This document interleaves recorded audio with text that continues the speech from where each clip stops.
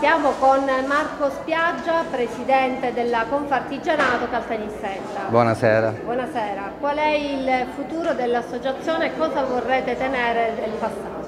Allora, come associazione ad oggi stiamo puntando fortemente sulle categorie, che siano categorie edili o impiantistiche o come oggi sulla parte più manuale dico, della, dell'artigianato. Eh, ogni categoria ha una storia a sé, ha un lavoro particolare, ha una sua cultura e noi punteremo molto sulle categorie. Il lavoro fatto dal mio precedente presidente è stato ottimo e cercherò di continuare sulla stessa linea e la stessa strada. Non è la prima esperienza all'interno di Confartigianato, giusto? No, io già in Confartigianato sono dalla bellezza di 22 anni, ho cominciato come presidente dei giovani imprenditori, successivamente presidente di Compartigianato provinciale per il settore impiantistico e adesso sono sia presidente regionale della categoria impianti termici che presidente di Compartigianato Caltanissetta da un paio di giorni.